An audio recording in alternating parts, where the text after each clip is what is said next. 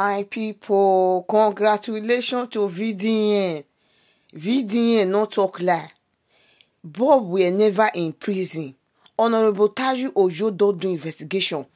He don go submit the paper for House of Rep today. So make we listen to Honorable Taju Ojo and House of Rep representative. On So make we listen to them. Congratulations to VDN. present the report on phase one of the investigative panel on Nigerian Correctional Services. Thank you, sir.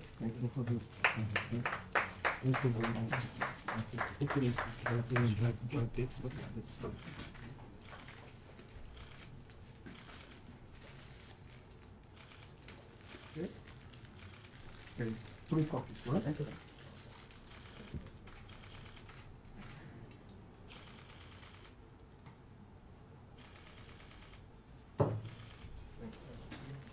Here's the first um, phase report of the independent investigative panel on the alleged corruption, abuse of power, torture, cruel, inhuman, and degrading treatment against the Nigerian Correctional Service, which is being submitted today to the Honorable Minister of Interior, Honorable Dr. Olubunmi Tunji Ojo. The executive summary. This interim report, which is the phase one report of the panel, focuses on the findings in relation to the investigation into specific cases, namely Mr. Idris Okuneye, widely known as Bob Bobrisky, and to verify if he served his sentence in the Nigerian Correctional Service custodial centers, and to ascertain the veracity of the claim that an inmate in Kuje Custodial Center was intimidated, threatened, and defrauded by the officer in charge.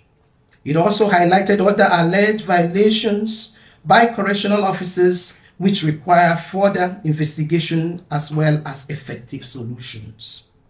The finding of the panel thus far shows the following. 1. The panel did not find any evidence thus far that suggested that Mr. Idris Okuneye slept outside the custodial center during the period of his imprisonment, which was from 12th April 2024 to the 5th August 2024, with a six months correctional sentence with the usual um, remission applicable. During this period, he was transferred from Ikoyi Custodial Center to Medium Security Custodial Center, Kirikiri Apapa, Lagos, and that was on the 12th of April. On the 22nd of April 2024, he was transferred from Medium Security Custodial Center, Kirikiri, to the Maximum Security Custodial Center, from where he was discharged after completion of his sentence on the 5th of August 2024. The state controllers of corrections have the power by law to transfer an inmate from one custodial center to another within the same state. Proper documentation of Okuneye Idris was not made prior or as he was being transferred from Ikoyi Custodial Center to Medium Custodial Center medium security and from the medium security custodial center to the maximum custodial center Kirikiri Apapa Lagos. The documents were later provided on the 28th of September 2024 and backdated to the 12th of April 2024 and 22nd April 2024 uh, respectively. These are in violations of section 168 and 169 of the Nigerian Correctional Service Standing Order Custodia, the transfer of Mr. Okuneye Idris from the medium security Kirikiri, Lagos to the maximum security Kirikiri, Lagos, being a first offender, violated section 164A and section 164B of the Nigerian Correctional Service Act of 2019. The panel also found that Mr. Okuneye Idris enjoyed several privileges while in custody, both at the medium security and the maximum security custodial centers, which include especially the following furnished single cells, humidifier, lots of visits by his family members and friends as he desired, visit by his family members and friends held inside the office, office of the in charge of the custodial center, floor rug, self-feeding, designated inmates to run errands for him, access to fridge and television, and possibly access to his phone. It is necessary to further investigate if the above privileges provided for Okuneye Idris were financially motivated and based on corrupt practices by correctional officers. The panel believes that the peculiar case of the inmate and the inmate's physical look and behavior pose a threat and the lack of laid down rules for the treatment of such a case may have necessitated such privileges to be granted to Okuneye Idris.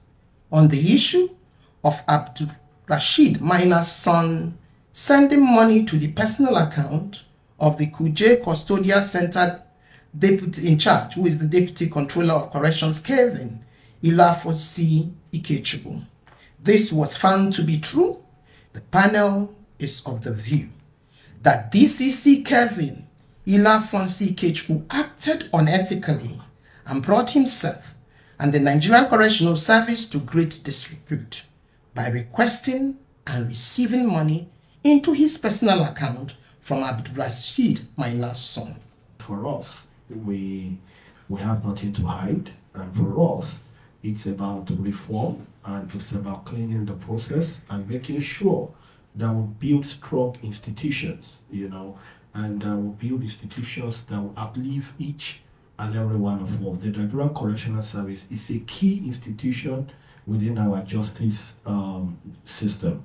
And within even the national security architecture, the Nigerian Correctional Service is a very, very key institution. And therefore, any form of corruption, any form of malfeasance, any form of abuse of power, torture, cruelty, inhumane, and degrading treatment will never be accepted. So for us, we've started the journey. Whoever the officer might be, I don't care where he's from, he found wanting, according to this report, will pass through the necessary disciplinary process of the board and we will make sure that those officers, their actions are met with the sort of sanctions and